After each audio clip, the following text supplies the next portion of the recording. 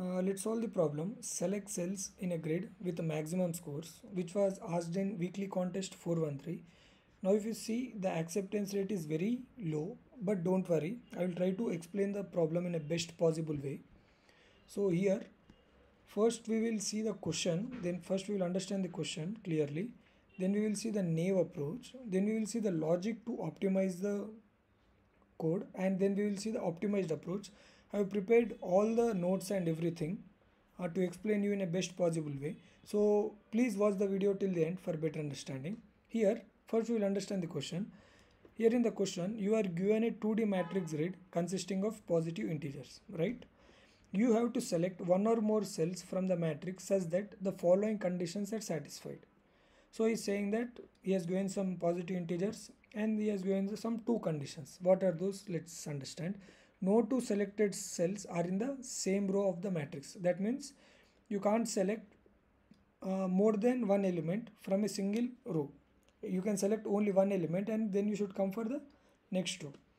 The values in the set of selected cells are unique. Suppose you are selecting uh, this element in the first row and in second row you are selecting this and the third row you are selecting this and consider my values are 5, 3 and 5. It's not valid. 5 is repeated, right? Is saying that the values in the set of selected cells this should be unique unique. So all the values should be unique. Your score will be the sum of the values of the selected cells. So which cells you are selecting that will be my your maximum score. We need to return the maximum score you can achieve. So we will return the maximum score you can achieve. So by this after reading this solution reading this question right you will think about the uh, recursive solution. So first we will see how the recursive solution works. Now what what I will do is I will iterate to the each row. I will iterate to the each row. I have three scenarios. Whether I can skip the row. So what I can do is I can skip the row. If uh, if it is not valid. Suppose if I am getting 10 10 here. If I am getting 10 in this in this row and if I am getting 5 and we have only we have 5 here and we have 5 here. We have 5 here. Either you can choose this or you can choose this. So whether I can skip the row you can choose one element or else I will skip the row for for uh, for what like for testing every possible ways. First I will skip the row. Or else if you are not choosing it if you are not choosing the element in the row go to the next element in the same row. If if you are iterating in the row row and if you are not selecting this element I will go to the next element. If you are not selecting I will go to the next element. Now if you are selecting if you are selecting fixing the value if you are choosing it we will insert that into the map for the uniqueness. We are using map to store the unique values. If the value is not present in the map then only I will push into the map or else I will say I will not consider it. I will follow this. I will don't choose. I will go to the next element in the same row. We will choose and we will go to the next row. If you are choosing it we will go to the next row. This is how it goes. This is how it goes. So try to code by yourself the naive approach try to code like you can take the parameters and try to code the recursive solution. So i'm hoping that you have tried this part. So if you try right if you try coding by yourself then only you will think about different scenarios or else it will be very difficult. So that's why i'm saying that please go and code. So if you see the coding part if you see the coding part it's simple. We are using the unordered map for storing the uniqueness. For storing the uniqueness we are using unordered map. Here we are using solve solve as we can see here right as you see here we are skipping the row. It's our wish. We are going for all possibilities so this is a naive approach. So i will go for all possibilities solve i plus 1 i'm skipping the row. That means i'm going to the next row. Next row. Then j is equals to 0 j less than m. J plus plus. V of ij so this is i is my present row and j is my present columns. Like i like this i am going to iterate till the m. So this in k we are storing in the map we are checking whether it's 0 or not because we want the unique values. If it is 0 if it is 0 we are increasing the map. We are increasing the map. We are storing. We are declared the answer over top. Answer equals to 0 answer equals to max of answer comma k plus c. This is my answer. C also i am storing. So for the for every row we want the maximum right? Like this i will go. So i am using c value. For the counter this row we are this c will be 5 and coming here c will be 15 so in that way at every time we are incrementing the c. K is equals to k plus c and solve i plus 1 we are going to the next row and nm and k plus c. We are incrementing my c value c value. After completion now i am at this row i am coming to this row. After completion of this after completion of this i need to backtrack it right? I need to backtrack it. That's why i'm doing mp of k minus minus. That means i am i am saying that this value is not taken. So i will go i will check for the next value in the same row. In the same row next value i will check and i will perform the same thing. So it's like a backtracking. So every time we are backtracking it and finally we are going to return the answer. So if you do this right you are definitely going to get the TLE because you can see that there are a lot of operations have performed. So how you can optimize it? Think like how you can optimize it. Now let's take couple of observations here first observation is we can choose at most 10 elements. Why?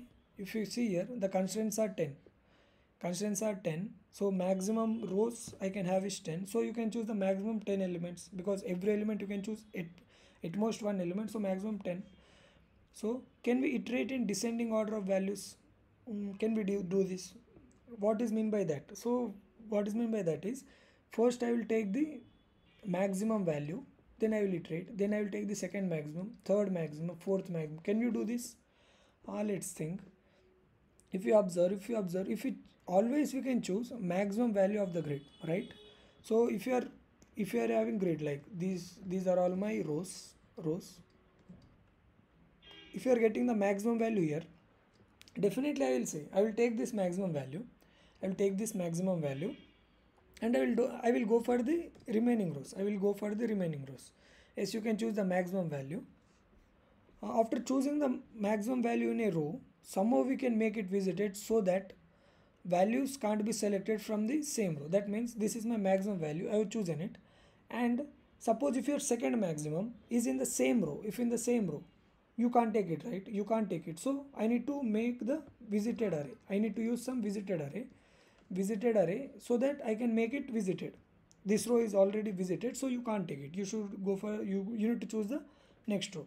So so using visited array using backtracking it will increase my time complexity. Can we mask it? So can we mask it? What is bit masking? I will explain you. Here my maximum row count is 10. Maximum row count is 10.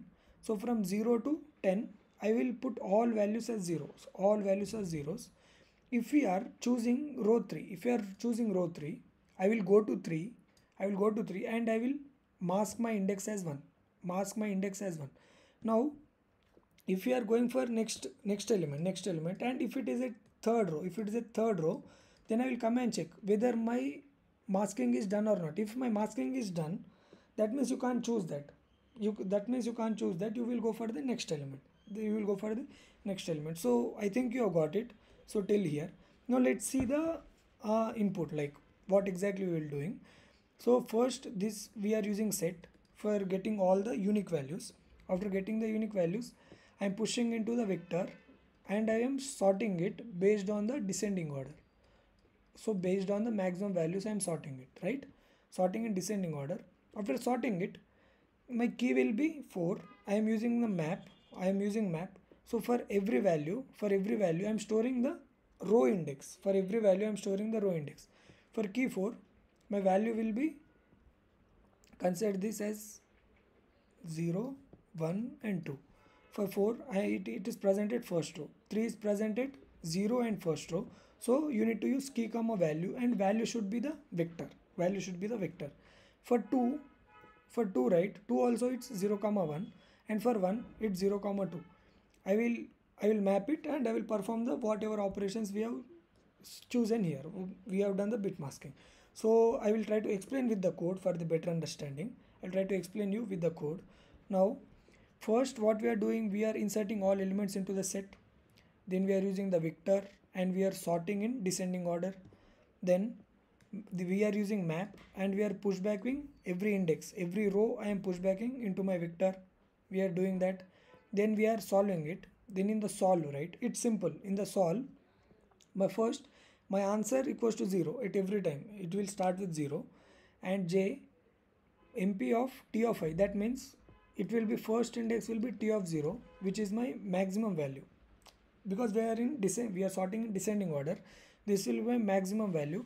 I will go for every row. Like in this it presented first row uh, 4 can be present in different rows as well right? It can present in second third any rows. My maximum element can be present in any row. So i will iterate and i will check mask and mask will be initially 0 mask and one left shift j times. That means j is my j is my row index. Either it can be 0 1 2 like which row i am. If it is presented 0 row i'm checking mask and 0 through. That means mask which is mask and at 0 row one left shift j times. That means 3 times we are left shifting and we are checking.